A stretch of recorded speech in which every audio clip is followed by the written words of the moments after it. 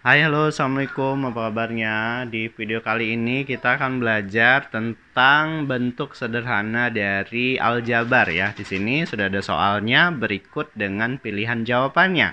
Bentuk sederhana dari 3x ditambah 4 dikali 2x dikurang 5 dikurang 2 dikali 3x dikurang 5 ada pilihan jawabannya. Oke langsung ya kita coba jawab. Jadi untuk kejawab ini kita jabarkan dulu ya yang di dalam tanda kurung ya. 3x ditambah 4 yang dikali dengan 2x dikurang 5. Nah, penjabarannya ya, kalian tinggal kali sebar aja. Jadi 3x dikali dengan 2x itu 6x kuadrat.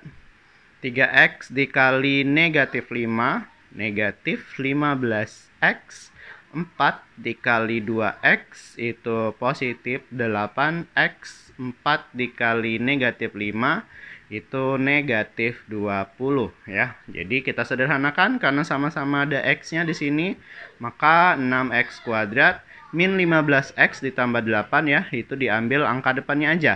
Min 15 ditambah 8 itu sama dengan negatif 7x dikurang 20. Nah, ini bagian depannya sudah selesai. Lalu bagian belakang ya, dikurang dengan 2 dikali 3x dikurang 5. Sama ya, kita sebarkan duanya.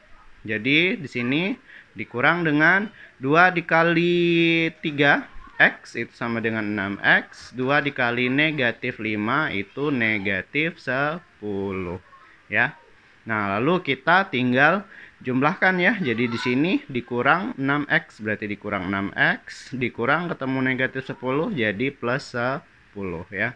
Jadi kita bisa hitung x-nya karena sama-sama ada x di sini. Jadi 6x negatif 7x dikurang 6x ya. Negatif 7 dikurang 6 itu negatif 13x. Lalu negatif 20 ditambah 10. Hutang 20 dibayar 10 masih hutangnya 10 ya. Jadi jawabannya 6x kuadrat dikurang 3x dikurang 10. Kalau kita lihat jawabannya yaitu ada di pilihan option yang D ya. Jadi jawabannya yang D. Oke, jadi seperti itu ya cara menyederhanakan bentuk aljabar. Silahkan like jika suka video ini. Jika ada pertanyaan, boleh tinggalkan di kolom komentar. Dan jangan lupa juga untuk subscribe agar tahu cara menghitung pelajaran matematika yang lain. Sampai ketemu di video selanjutnya. Wassalamualaikum warahmatullahi wabarakatuh.